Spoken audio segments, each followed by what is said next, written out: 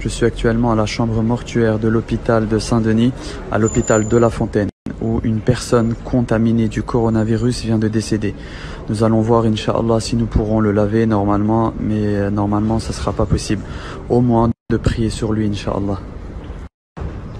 Un médecin de l'hôpital me dit que l'hôpital de la Fontaine de Saint-Denis est saturé. Saturé par le nombre de cas de personnes contaminées par le coronavirus.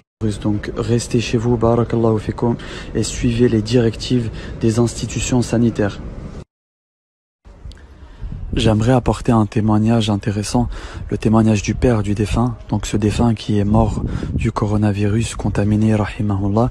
Son père me disait qu'avant de mourir, il a contaminé euh, sa mère, il a contaminé euh, son frère. Sa mère est actuellement euh, en réanimation dans un état grave dans un hôpital de Paris et son frère également en réanimation à Neuilly dans un hôpital dans un état grave.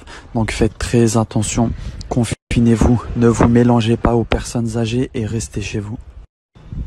J'insiste, barakallahu fikum, j'insiste encore une fois, barakallahu fikum, aucun contact avec des personnes âgées, aucun contact avec vos parents, avec vos pères, vos mères, vos oncles, vos tantes, vos grands-mères, vos grands-pères, aucun contact, barakallahu fikum, vous risquez de euh, contaminer des personnes âgées sans le vouloir.